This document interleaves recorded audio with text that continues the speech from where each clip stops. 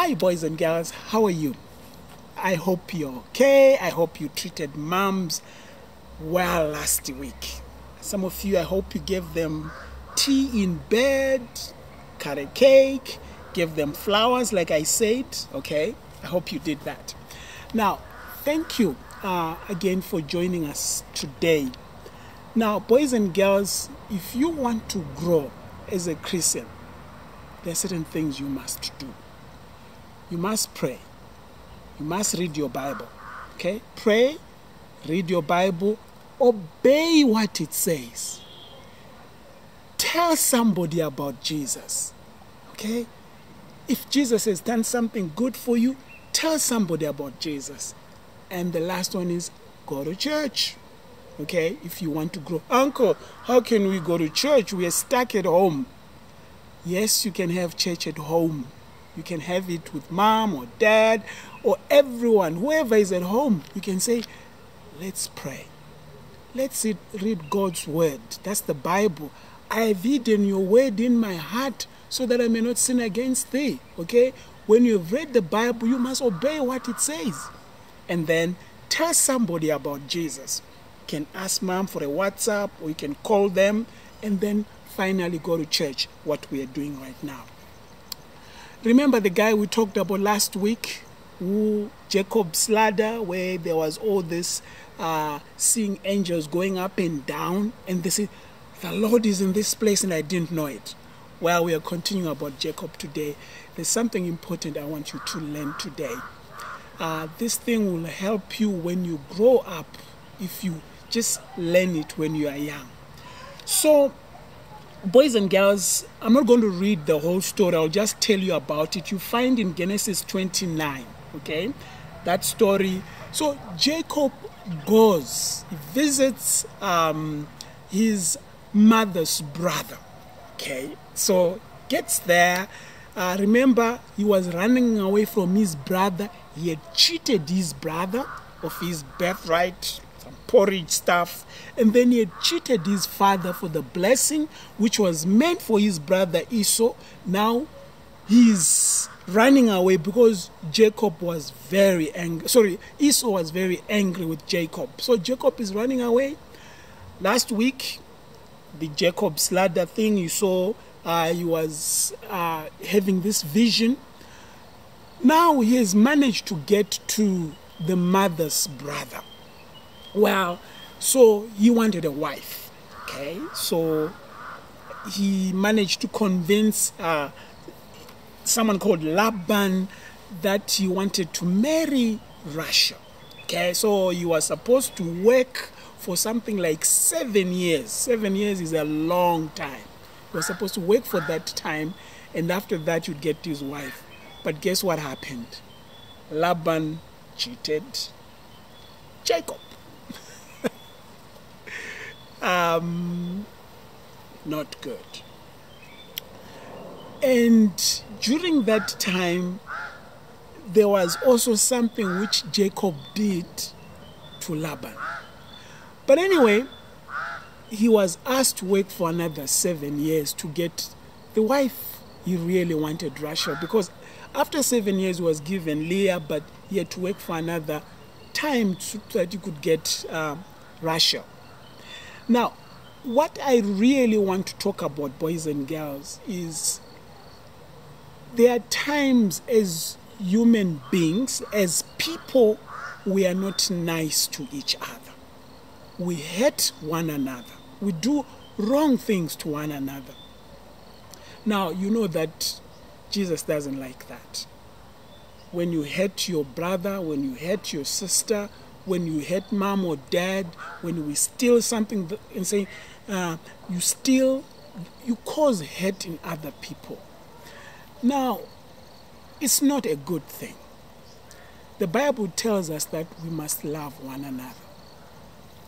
Now, so when you hate someone, like what Jacob did to Esau, or what Laban did to Jacob, and what Jacob did, if you don't learn to say, I am sorry, I'm sorry I hurt you. boys and girls, this thing keeps going and going and going. I've also heard some boys and girls saying, he started it. So you punch your little brother or little sister because your brother or little sister punched you. Now, that's not good. The Bible talks about in Romans chapter 12, verse 19. The Lord is the one who revenge. Don't revenge. It's, it's His to revenge. Do not be overcome by bad thing, by evil. You must overcome evil with good. You must learn to say, I'm sorry, mom, I broke your cup. I am sorry, mom, I made a mistake. I bumped into that Eh, the the glass and it broke. I'm sorry, Dad, I spilled your tea. I'm sorry, I spoiled your work. I didn't know that that paper was very important. I'm sorry, I tore it. Look at someone next to you and say, Learn to say, I am sorry. Those are important words, boys and girls, which we must learn today.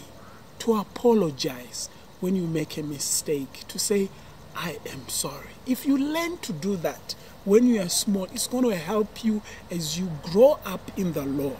As you, you if you, because you're going to make mistakes.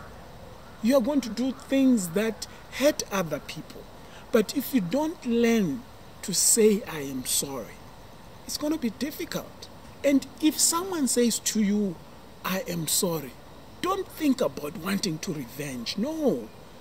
As Christians, we don't play those games. We don't revenge because the Lord says, It's mine to revenge. Now, if you get God to do the revenging part, yours is to love even those people who have messed you up. Are we together, boys and girls? I want you to repeat this after me. I want to learn to say, I am sorry. I didn't hear that. Can you do it again? I am sorry. Let's not be like Jacob. Let's not be like Laban. Okay? And also don't be like Esau. You remember Esau wanted to kill Jacob. That's why Jacob had to run away because he had been hurt by Jacob. Jacob didn't say, I'm sorry, but now this guy wanted to revenge. Revenge by killing. No, no, no, no, no, no, no, no. Not good. Boys and girls, we must learn to say, I am sorry. And if somebody says, I am sorry, you must say, I forgive you. Okay? Good. So, boys and girls, I just want you to know that the Lord will not abandon us, even during this time. The promise He made to um, Jacob when He says, I'm going to be with you. Remember the memory verse in Genesis chapter 28, verse 15. I am with you. I will watch over you wherever you go. The Lord is watching us even during this COVID time. Some of you cannot go to school, but the Lord is watching over us. He loves us so much that He cares. So, Genesis 28, verse 15, let's go again together. I am with you.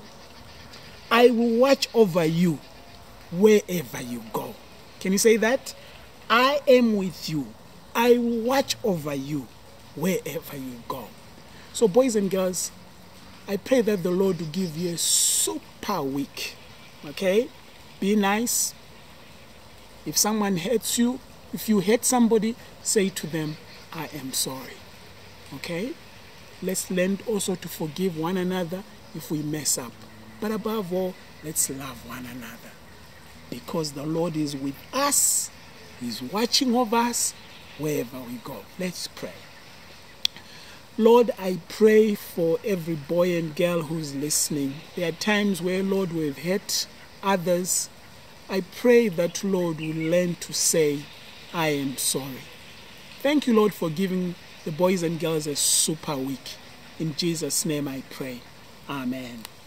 Thank you, boys and girls. Uh, see you.